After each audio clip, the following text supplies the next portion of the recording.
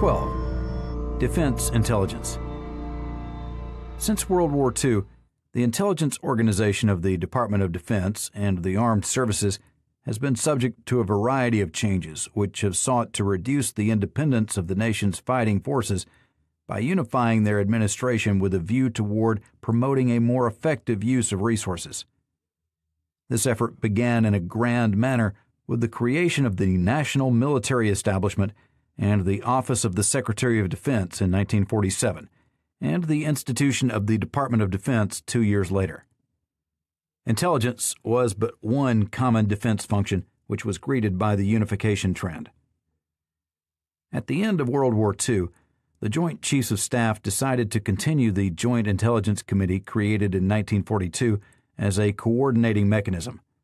With the demise of the Office of Strategic Services in 1945, the Joint Chiefs created the Joint Intelligence Group, sometimes referred to as J2, within its joint staff, authorized by the National Security Act of 1947.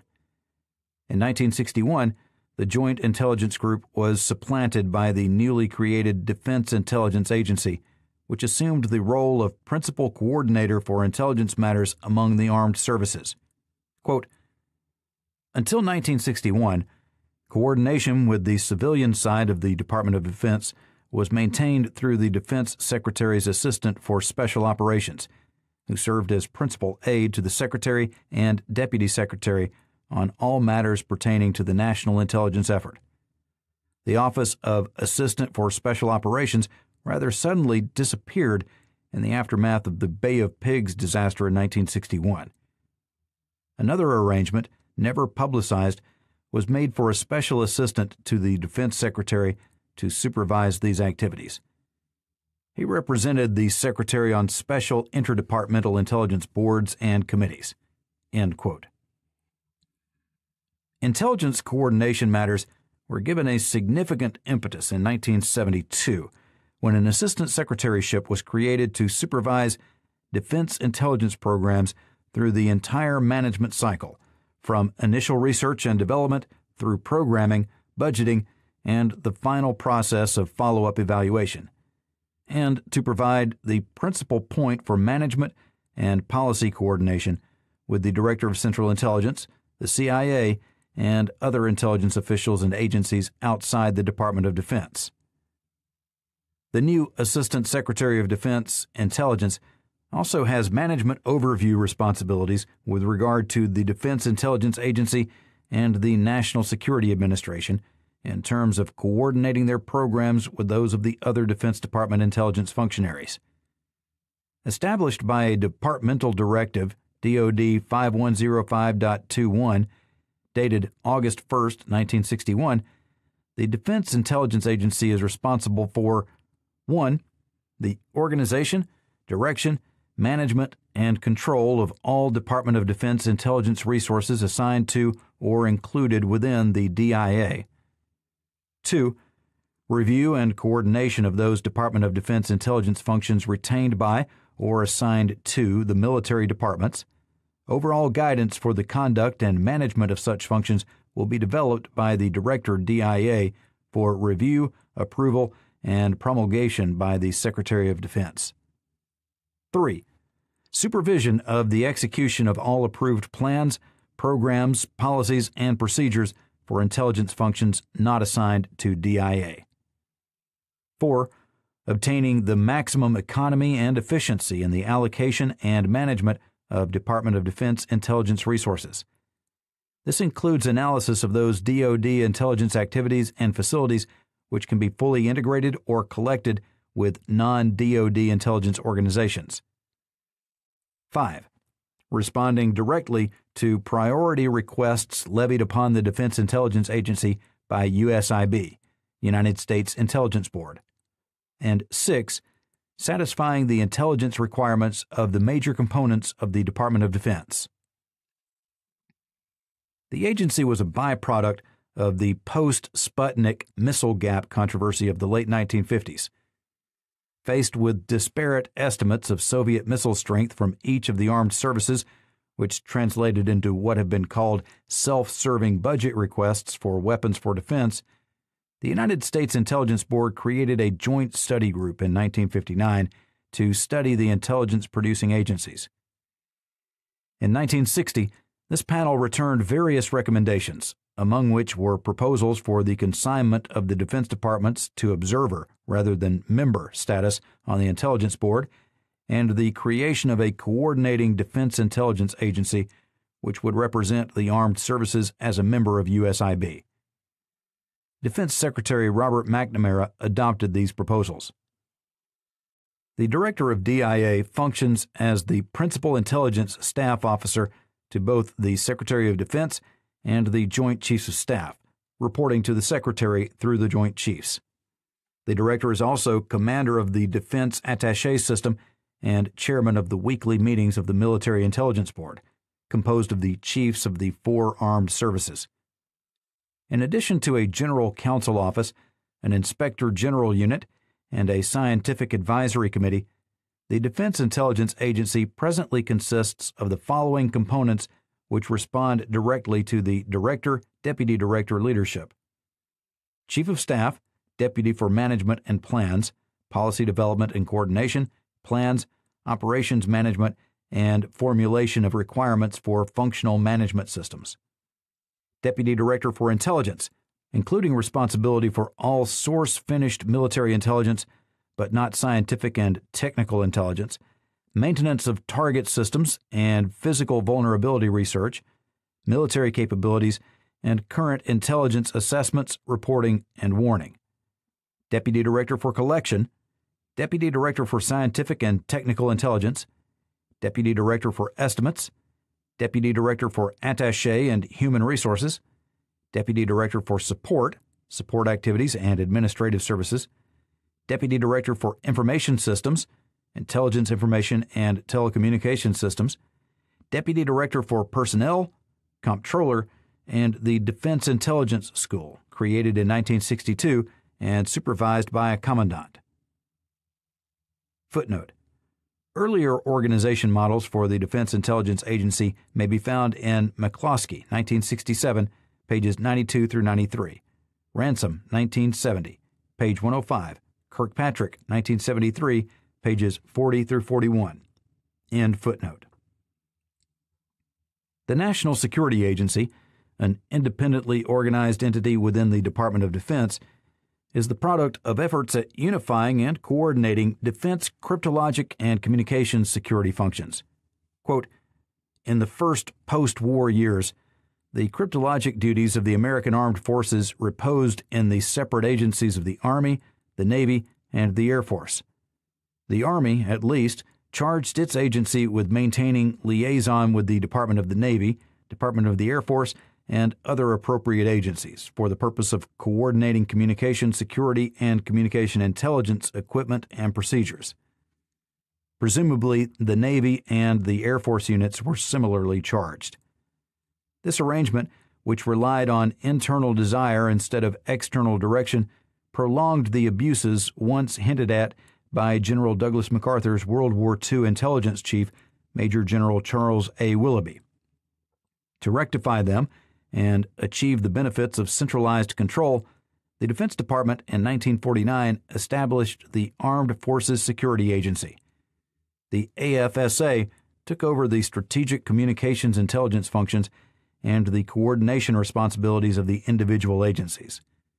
It left them with tactical communications intelligence, which can best be performed near the point of combat and not at a central location, except for basic system solutions and with low echelon communication security, which differs radically in ground, sea, and air forces. Even in these areas, AFSA backed them up. AFSA drew its personnel from the separate departmental agencies, though it later hired separately and housed itself in their buildings. End quote. The success of the unified approach to cryptology, evidenced by the operations of the Armed Forces Security Agency, warranted an expansion of that institution to include crypto systems outside of the Defense Department, such as those maintained by state. Accordingly, President Truman promulgated a classified directive creating the National Security Agency on November 4, 1952, abolishing the Armed Forces Security Agency and transferring its assets and personnel to the new successor. Such an aura of official secrecy surrounded NSA that no acknowledgement of its existence appeared in the government organization manuals until 1957, when a brief but vague description was offered. In brief, according to one expert, NSA, quote, creates and supervises the cryptography of all U.S. government agencies, end quote, and, quote, it interprets, traffic analyzes, and cryptanalyzes the messages of all other nations, friend as well as foe. It is the American Black Chamber reincarnated with the most highly sophisticated technology available, an estimated staff of 20,000 employees at its home base, Fort Meade, Maryland, with between 50,000 to 100,000 persons in its service overseas and an annual budget thought to range between 1 and 1.2 billion dollars. Footnote: Douglas Watson, NSA, America's vacuum cleaner of intelligence. Washington Post, March 2, 1975. End footnote. According to best estimates, the National Security Agency is organized into three operating divisions the Office of Production, Code and Cipher Breaking, the Office of Communications Security, Code and Cipher Production, and the Office of Research and Development, Digital Computing and Radio Propagation Research, Cryptanalysis, and Development of Communications Equipment, and supporting units for recruiting and hiring, training, and the maintenance of both physical and personnel security. In November 1971, President Nixon directed certain changes in the organization of the intelligence community, among them the creation of a National Cryptologic Command under the director of the National Security Agency. The result of this announcement was the organization of the Central Security Service, comprised of the Army Security Agency, the Naval Security Group, and the U.S. Air Force Security Service, with the NSA director concurrently serving as the Chief CSS apparently established to consolidate the cryptanalytic activities of the armed services, the official purpose of CSS, as stated in the fiscal year 1973 annual Defense Department report to Congress, is to, quote, provide a unified, more economical, and more effective structure for executing cryptologic and related electronic operations previously conducted under the military departments. The military departments will retain administrative and logistic support responsibilities for the military units involved, but these units will be managed and controlled by the CSS. End quote. Footnote U.S. Department of Defense, National Security of Realistic Deterrence, page 135. End footnote. The 1971 intelligence community reorganization also called for the consolidation of all Defense Department personnel security investigations into a single Office of Defense Investigations. From this mandate, a departmental directive, DoD 5105.42, dated April 18, 1972, was issued, chartering the Defense Investigative Service. Operational as of October 1st of that year, the service consists of a director, a headquarters establishment, 14 district offices, and various subordinate field offices and resident agencies throughout the United States and Puerto Rico.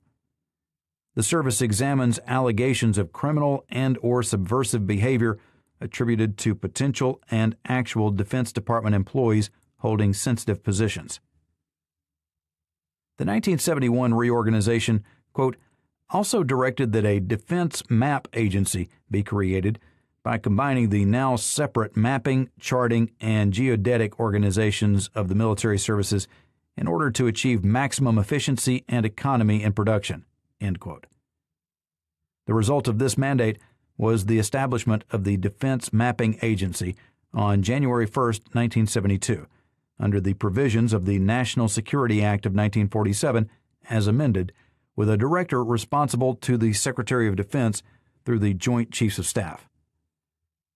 In the aftermath of these unification efforts within the defense establishment, each of the armed services continues to maintain an intelligence organization and their departments control their own intelligence production activities, particularly tactical or combat intelligence affecting their operations. Cryptological, mapping, and pertinent personnel security investigation functions having been consolidated for administration as discussed above. An Assistant Chief of Staff for Intelligence, G2, has continued with the Army General Staff since World War II. This officer supervised the Army Intelligence Corps, which included both collection and analysis functions, and the Army Security Agency, established September 15, 1945, to execute cryptologic duties. In June 1962, a major reorganization of Army intelligence operations brought about the merger of these two units into the Army Intelligence and Security Branch. Quote, Prior to January 1, 1965, the Military District of Washington and each of the six armies within the United States were responsible for counterintelligence activities throughout their geographic areas and controlled an intelligence corps group which carried on these activities. On January 1, 1965, the seven intelligence corps groups were consolidated into a new major command, U.S. Army Intelligence Corps Command. About two months later, it was redesignated the U.S. Army Intelligence Command. This command, located at Fort Holabird, Maryland, continues to function as a primary Army intelligence entity under G2. The Army Security Agency appears to have less direct intelligence production significance for G2 in the aftermath of the 1971 reorganization when it was placed under the control of the Chief of the Central Security Service. Other Army agencies, such as the Army Transportation Corps, are capable of contributing an intelligence product should G2 consult them regarding some aspect of their expertise. During the Army's most recent major commitment of forces in Southeast Asia, a combined intelligence organization was maintained in Vietnam. This structure was headed by an Assistant Chief of Staff, Military Assistance Command, Vietnam, J2, who is responsible for exercising general staff supervision over all Army, Navy, Air Force, and Marine Corps intelligence activities, as well as serving as Assistant Chief of Staff for Intelligence, G2, to General William Westmoreland, Commanding General, U.S. Army, Vietnam. The Office of Naval Intelligence is currently called the Naval Intelligence Command and continues to report to the Chief of Naval Operations through the Command Support Programs Office. Quote, the field organization for carrying out ONI's missions has three major components. One, Naval District Intelligence Officers, under the management control of ONI and operating in the United States and certain outlying areas. Two, intelligence organizations with the forces afloat, which are directly under unit commanders with overall ONI supervision, and three, naval attaches functioning under ONI direction as well as State Department and Defense Intelligence Agency supervisions. District intelligence officers operate primarily in counterintelligence and security fields. The District Intelligence Office, DIO, is directly responsible to the Naval District Commandant with additional duty in some areas on the staff of the commander of the sea frontier of his district. Civilian agents usually are assigned to the district intelligence officers, along with naval intelligence officers, and the former conduct security and major criminal investigations involving naval personnel or material. With the forces afloat or an overseas basis, flag officers in command of each area, fleet, or task force have staff intelligence sections functioning primarily in the operational or tactical intelligence field. The intelligence officer who heads this staff section works not only for the unit commander, but also performs some collection missions for ONI. Naval attaches, trained by ONI in intelligence and languages, collect naval intelligence for ONI, as well as serve the diplomatic chief at the post to which they are assigned. While ONI serves certain of its intelligence needs, the Marine Corps, quote, maintains a small intelligence staff in its headquarters, and intelligence officers are billeted throughout the Corps, end quote. And these personnel, quote, are concerned primarily with tactical or operational rather than national intelligence. Transferred to the Navy Department for wartime service in 1941, the Coast Guard was returned to the Treasury Department in 1946 and has maintained a very small intelligence unit, quote, mainly concerned with port security, keeping subversive elements out of the merchant marine and off the waterfronts, enforcing Coast Guard laws, and ensuring the internal security of the Coast Guard. When the United States Air Force became a separate service apart from the Army in 1947, a General Staff Directorate called the Air Staff was instituted with an Assistant Chief of Staff for Intelligence, ACSI, and sometimes still unofficially referred to as A2. This officer supervises an immediate office organized into a special advisory group, a brains trust designed to keep the ASCI abreast of scientific technical, and strategic matters of prime concern to the Air Arm, a data handling systems group, a policy and programs unit, a resources management component, a collection directorate, and a strategic estimates directorate. The ASCI has also held staff supervision authority of the USAF Security Service, personnel and physical security, and the Aeronautical Chart and Information Center, aeronautical charts, graphic air target materials, flight information publications and documents, terrain models, maps, evaluated intelligence on air facilities, geodetic and geophysical data, and related cartographic services. Overseas attaches are administered through the Collection Directorate, which at one time included a reconnaissance division, acknowledged to be charged with overseeing the development of the latest spy in the sky equipment some of it exotic. This entity may have been displaced by the National Reconnaissance Office, an Air Force intelligence agency only recently disclosed to exist, which reportedly operates satellite intelligence programs for the entire intelligence community on a budget estimated at more than $1.5 billion a year. This is Our Hidden History